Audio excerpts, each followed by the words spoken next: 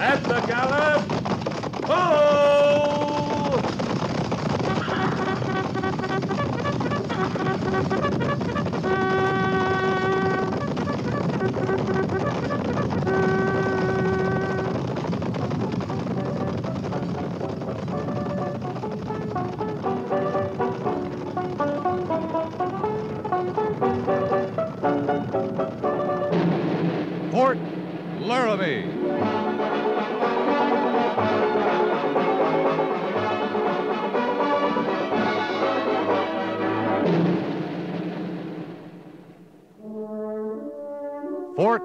Laramie, starring Raymond Burr as Captain Lee Quince.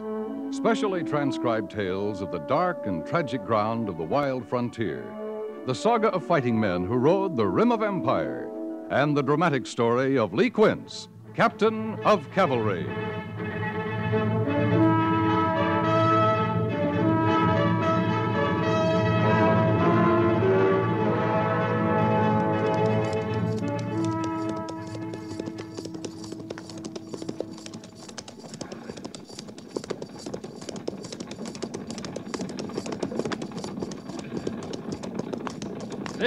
Far as we go, mister. That's your line, the creek ahead? You can water your stock there. We'll wait for that and head back.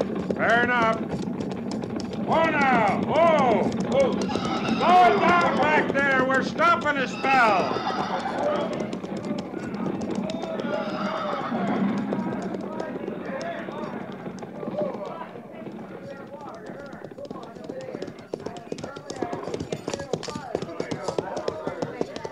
This the end of the line for us, Captain? That's what the orders say, Sergeant. Yes, sir. Tell the men to dismount and unsaddle, pin graze and water. Uh, take your mount, Captain. Yeah, thanks. I want to talk to the driver. You seen him then, up on the rim. Yeah, they're keeping their distance. Ain't every wagon train pushing west gets two escorts, cavalry and the Injuns. Yeah, Gorce. I'll tell him. Dismount and unsaddle, pin graze and water. Dismount and unsaddle, pin graze and water. Come on now. Mind your stock don't take on water too fast. You're planning to stick to the Oregon Trail, driver? I'd be a plain fool if I didn't. With them Injuns staring me down from the top of the canyon. Oh, I don't think they'll bother you. They're not hungry. We butchered some beef on the agency for for 'em last week. Can't see we'd look too good to to 'em. Kind of mangy looking outfit, ain't we? Oh, I've seen worse. You're all right, so long as you don't get any ideas about the old Bozeman Trail. Well, that's closed now, ain't it? Yeah, by treaty. That's what's bothering our friends up there in the rim. They think we aim to cut up to Montana country? Some of the wagons try it. Lots of gold up there, ain't they, Captain? Yep, and lots of Sioux and lots of Arapaho. It's all Indian country. Bozeman Trail's closed. Forts and posts are abandoned. I tell you the truth, Captain. I kind of had my heart set and panning myself a fortune or two. You wouldn't get to the first turn in that trail. Nope, I wouldn't. I know I wouldn't. Well, had my heart set in my own plot of ground in Oregon, too. Sure, you'll live longer. you, uh, going up there to the rim, Captain? Talk to them Injuns? What for? Tell them to leave us be. That's reservation land they're on. They'll leave you be. Long as you set straight along the Oregon Trail. They haven't bothered a wagon train since the treaty. Well, I can wait till I settle in Oregon. Then maybe drop down to the motherlode country. If I want gold bad enough. Yeah, if you want it bad enough. You, uh, you don't have it, do you, Captain? Have it? The itch. The fever that sets on a man. Makes him want to find gold more than anything. Uh, that kind of fever can get you killed, mister. Yes, sir. I bet it can. Well, don't you worry yourself about me, Captain. Me and this little wagon train are staying right smack on the Oregon Trail. Good. Oh, uh, I'd watch my stock if I were you. There's alkali in these streams through here. Won't kill 'em, but too much will make 'em sick. I'll keep an eye on them. Well, good luck to you, mister. Well, thanks kindly, Captain. We're sure much obliged you rode this far with us. It's all right. We'll uh, watch you out of sight. I'd like that. Yeah, that's if you get a move on. You're wasting daylight at this rate. Valuable stuff out here, mister. Kind of like gold, Captain? Yeah. Kind of like gold.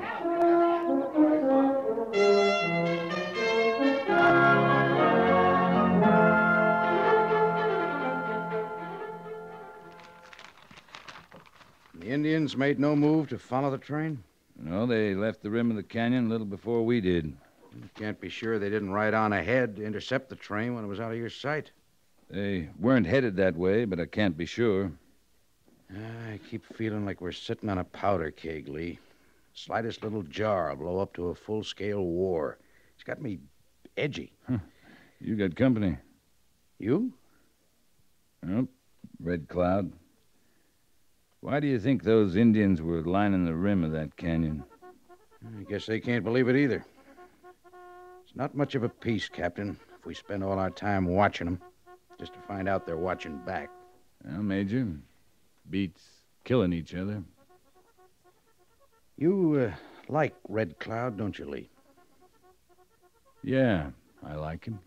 Do you trust him? He signed the treaty. Hasn't broken it yet. Then you do trust him. I don't think he'll be the one to break the treaty, if that's what you mean. You think we will, is that it? No, not we. But I saw something in that wagon train driver that breaks treaties. He called it a itch, a fever. Fever for gold. You told me you warned him about going up the old Bozeman Trail. Yeah, I warned him. I don't think he'll try it. But if he doesn't, someone with a fever will. If not the Bozeman, then they'll break new trails up into the Bighorn Range, over into Black Hills. That's all Indian territory. We've both read the treaty, Major. And Red Cloud signed it. So did we. Now, what do we have to do? Read it to every wagon train that stops at Fort Laramie? You asked me if I trusted Red Cloud. I trust him till the next white man goes into Indian country looking for gold. Yeah, I suppose you're right. He got what he wanted Powder River country, Black Hills for hunting grounds. That covers everything to the north and east of us. And we better stay out of it. Hmm. Tell that to the men with the gold fever. I do when I see him. Lee, if you were sitting in my chair, what would you do if you had to translate this problem to Washington? I'd desert. No, you wouldn't. You'd have a plan. What would it be? About white men going into Indian country? We can't protect them. We'll have to try to keep them from going in. Uh, that's what I want to know. Can we stop them? We can try. Maybe with official orders, we can keep them from going in in numbers. If we catch them, lock them up as treaty violators. And if they persist? For provoking an act of war, I'd shoot them.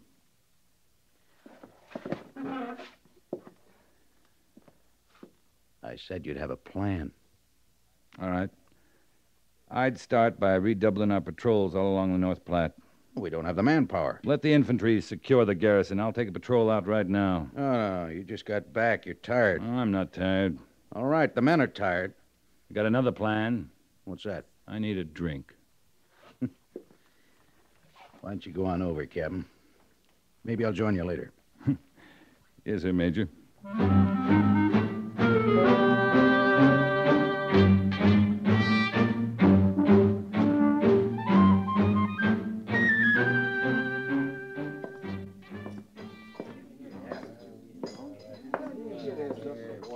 Why, Lee, I didn't know you were back.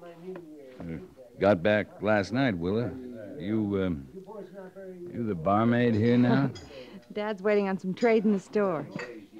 Here. Help yourself. Did I say I wanted a drink? If you'd come to see me, you'd have come last night. It was. Uh, it was late last night. That sounded a lot like an explanation, Lee. I guess I thought you wanted one. When you see me, it's because you want to see me. That's a good thing to know. Yeah, maybe it is. Are you finished with this? What's the matter? You running out of whiskey? Almost. Well, not Pliny. He doesn't run out. Not when he can still get his price. Oh, it isn't Dad. It's those men with him. What about him? What they're not drinking here, they're taking with them. Huh? Where they going? I don't know. But wherever it is, they must expect to stay a long time. Isn't ten gallons of whiskey an awful lot, Lee? A couple of drinks of this whiskey is an awful lot. Say, uh, Willa, you recollect that last shipment of boots we got in? I thought we put them in stock, but I cannot lay my hands on them. Aren't you going to speak to Lee, Dad?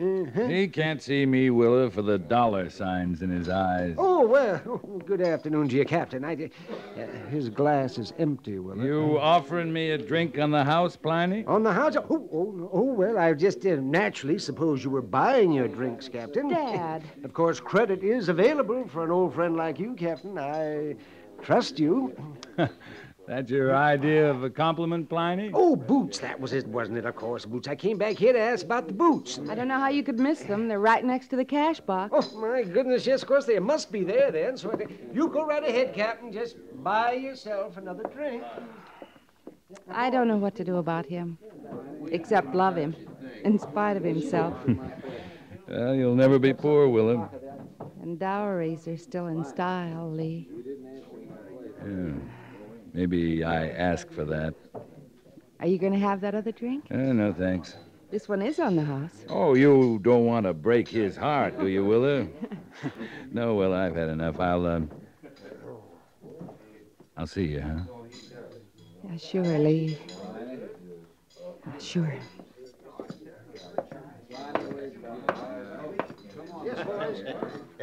Hey, you, soldier. Hey, you. You talking to me, mister? I, uh, called you soldier, didn't I? This a friend of yours, Pliny? Well, he is uh, spending quite a lot of money, Captain. Yeah, and I aim to spend a lot more. Maybe with you, soldier boy. I got nothing to sell, mister. Well, you could uh, might give him uh, some information, couldn't you, Captain? He's such a good customer. You want to quit bobbing around in front of me? Uh, uh, no offense, no, not the slightest bit of offense. Excuse me. That's better. You want a drink, soldier? I'm in a hurry, mister. You must know this country pretty good. I'm looking for horses. Good uns. You're new here. New as today. Most of the settlers around here have horses. I said good horses. I seen the crowbait they pass off for horses over in Laramie Village. I mean good uns. Strong. Take a lot of riding. That's what I want. Mm-hmm. How many? Oh, four, say. Well, the Suter Ranch is about your best bet. It's a good day's ride from here. Which way? West, due west. You can see the ranch house from the Oregon Trail.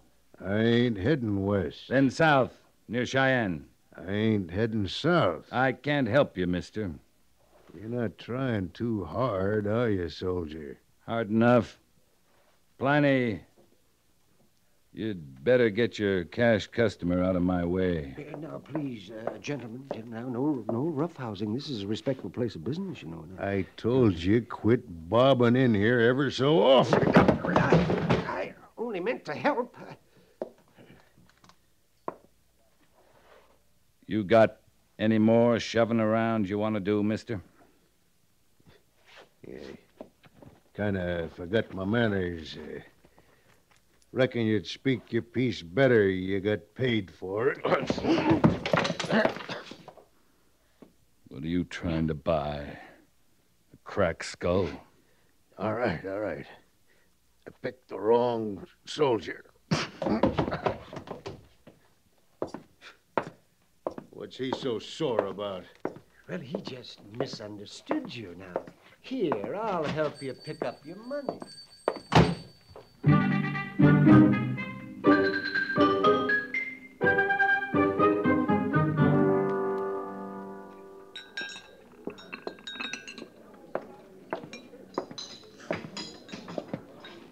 All right, if I sit next to you, soldier. Help yourself.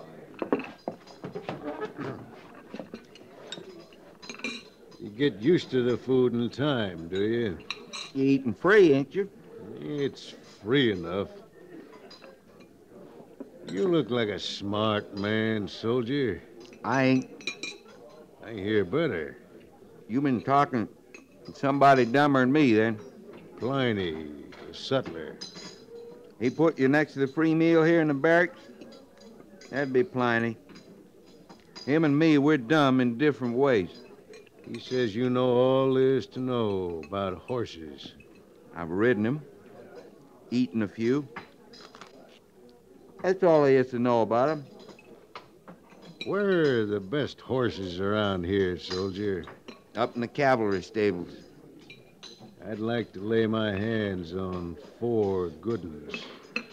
Well, now, you could try, but you might get yourself shot in trying. I'm talking about buying horses, not stealing them. I don't think the cavalry's got any horses for sale, mister. Are you trying to understand me, soldier? I'm trying harder to eat.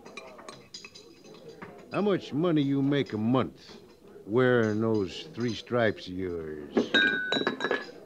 Now that just plain took my appetite.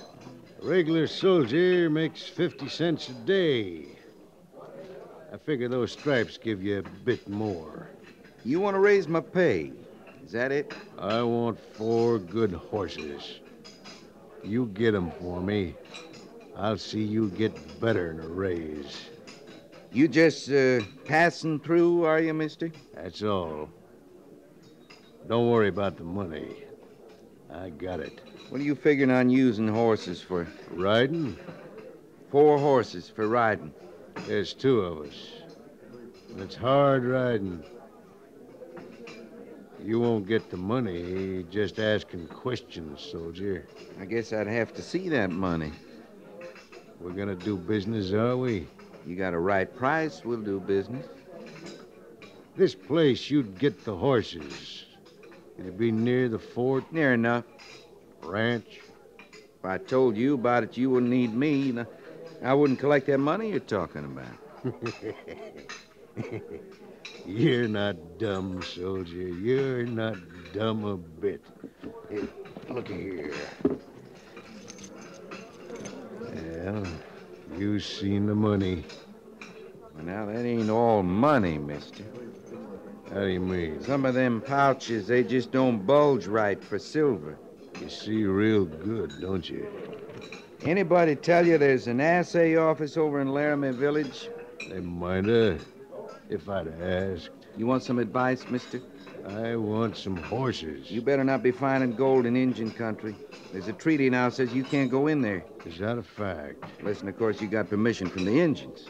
Soldier, I got ten gallons of whiskey. That's a lot of permission. Providing I wanted it. Now then, I took your advice. You gonna take my money? I'd a lot sooner take you, mister. You're going along with me, or ain't you? I'm going with you all the way. Hey, what's the idea? You just got yourself a military escort, mister, clean through the main gate of Fort Laramie.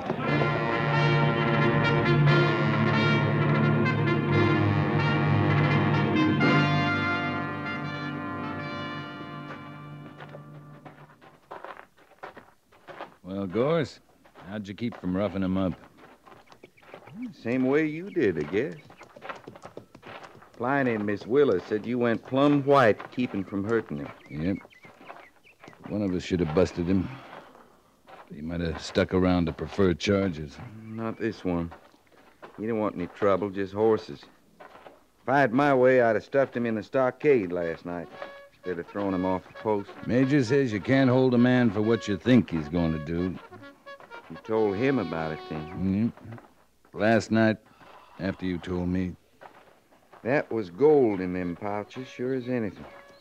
I didn't have to look inside. Yeah, sure, it was gold. And it was picks and shovels and pans he bought at the Sutlers. I got that much out of Pliny last night. You know, forgetting the whiskey. And I'm not forgetting. Like he's not, he's got the horses by now, too. We can't stop him from getting horses, Sergeant. We just don't have to help him. You were. You were smart to hear him out. I. I should have been a little smarter. He'd stand to talk freer to me, seeing I'd have more need of money.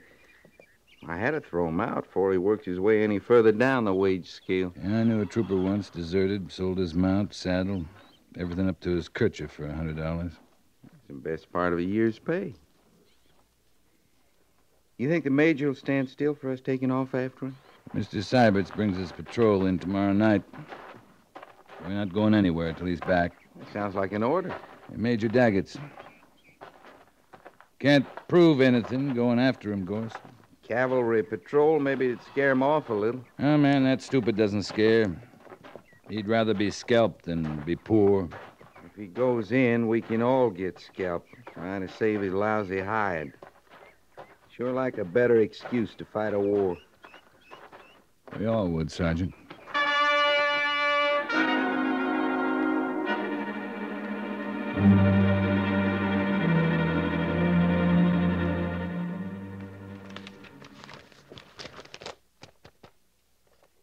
Right about there, sir.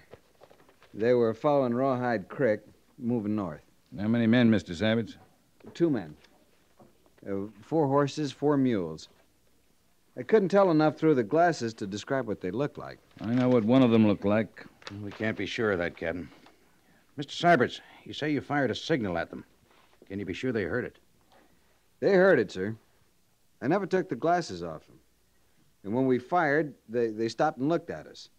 The whole patrol made signs for them to come back. You think they saw you? Understood your signs? I know they saw us. One of them had field glasses, too. Kept them trained right on us as they started moving north again. Is that all, Lieutenant? That completes your report? That's all, sir. Uh, except, well, I wish I could have stopped them from going in, sir. Well, you did all you could, Mr. Savage. Thank you, Captain. Every bit you could, Lieutenant. Now go on and get some rest. That's an order. Yes, sir. Major, sir? Captain, sir?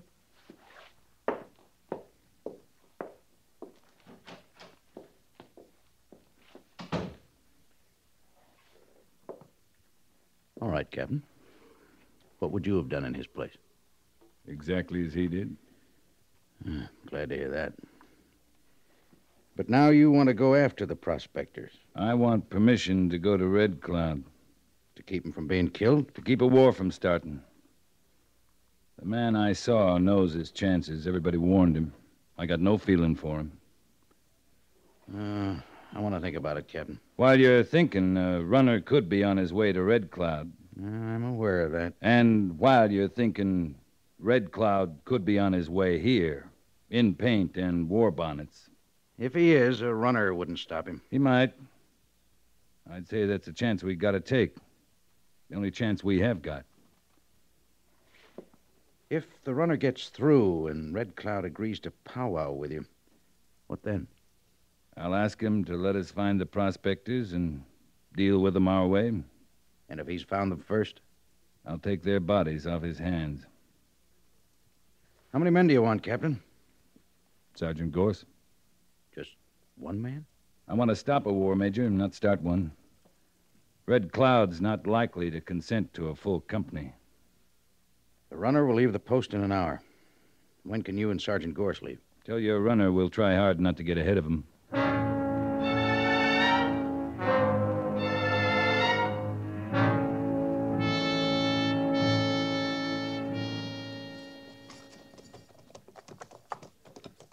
Black Hills country ahead, ain't it, Captain? Yeah, if you can see it, over the war bonnets. Red Cloud's not taking any chances. Would you, Gorce? No, sir, I wouldn't. I just keep hoping they're getting an eyeful of this white flag I'm toting. Uh, there in the hills, they got the best view. We just keep riding in. Yeah, as far as the stream. We'll drop our gun belts when we get there. And wait for Red Cloud. Yes, sir.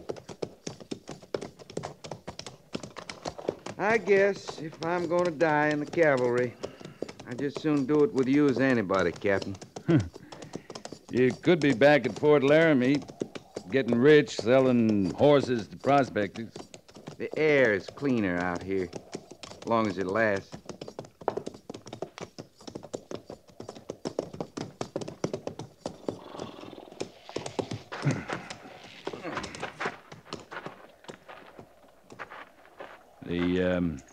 Gun belt, Gorce? Oh. How could I forget a little matter like that, you suppose? Hmm.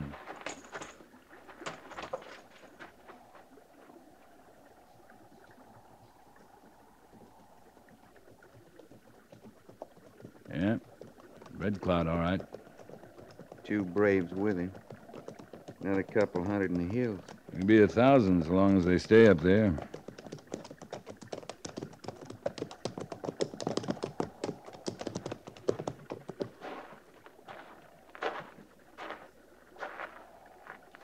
You honor our flag, Red Cloud. We thank you. Where is honor in white man for treaty boundaries? It comes slow to some white men. I came to ask your patience, Red Cloud. Patience stretches.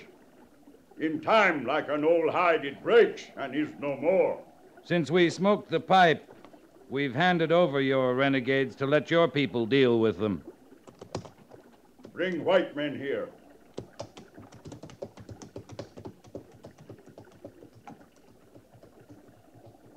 You will deal with them.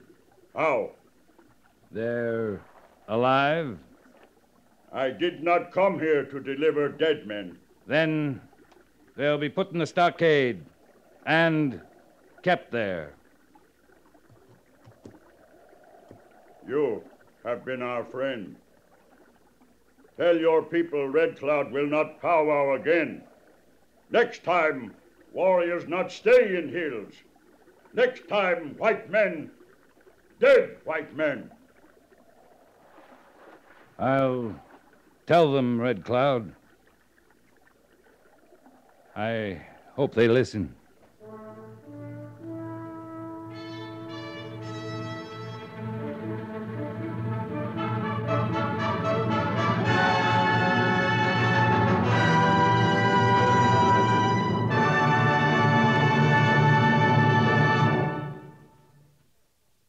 Fort Laramie is produced and directed by Norman Macdonnell and stars Raymond Burr as Lee Quince, Captain of Cavalry, with Vic Perrin as Sergeant Gorce. The script was specially written for Fort Laramie by Kathleen Hite, with sound patterns by Bill James and Ray Kemper, musical supervision by Amerigo Marino. Featured in the cast were Jack Moyles and Harry Bartell, with Frank Gerstle, Clayton Post, Howard McNear, Virginia Gregg, and Ralph Moody.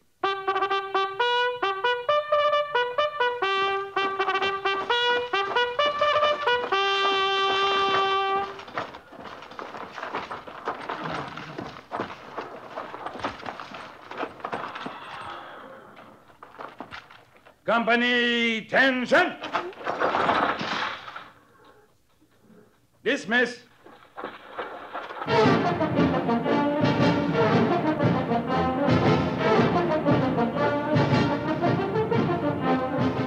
Next week, another transcribed story of the Northwest frontier and the troopers who fought under Lee Quince, Captain of Cavalry.